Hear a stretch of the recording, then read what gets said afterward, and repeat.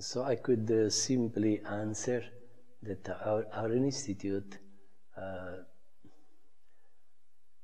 following all the example of St. Francis, as you remember in, uh, at the beginning of the, the Franciscan order, St. Francis had the, the idea of, uh, at that time it was, there were plenty of confusion too.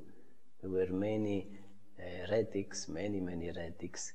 And uh, St. Francis was uh, enlightened to follow the, the, the light, which was really true light for the church, and so it was the Pope. St. Francis wanted always to follow the, whatever the Pope was saying at, at this time. So this kind of fidelity to the, to the church and to the Pope has uh, granted him the grace of uh, remaining faithful. And this means apart from all other uh, forms uh, around him. The fidel, and so we see also at the last, uh, for example, the last uh, chapter of the rule, he wanted to read it that the, the order would be under the obedience of the Pope. Now, what uh, we, we Franciscans of the Immaculate, we try to imitate St. Francis in this uh, matter. What is the matter is that uh, uh, recently, three years ago, the Pope, as with a motu proprio, allowed eh, eh, priests, especially religious orders, monks, to celebrate the Vetus Ordo, the way of, of Uh, was celebrated before, but uh, that form of 1962, the form of the Mass, Latin Mass.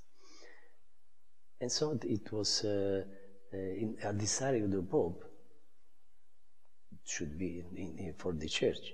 So we institute of the Francisco the Immaculate, uh, in particular way Father Stefano, wanted to follow the example of St. Francis. This desire of the Pope to celebrate the Mass, Latin Mass, uh, has become also for us a sort of way of uh, living this beautiful tradition of the Church.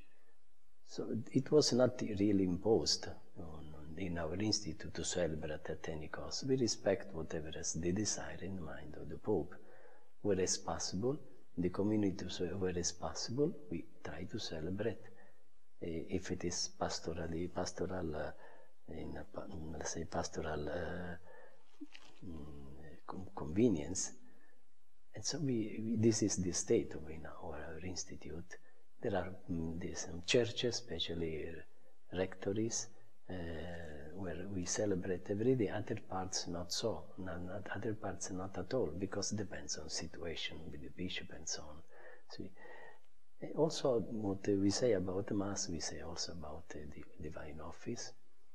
Interpreting the desire of the Pope, we tried also Latin the, to, uh, to pray the, the Latin way of the breviary, as it was uh, before. Uh, 1962.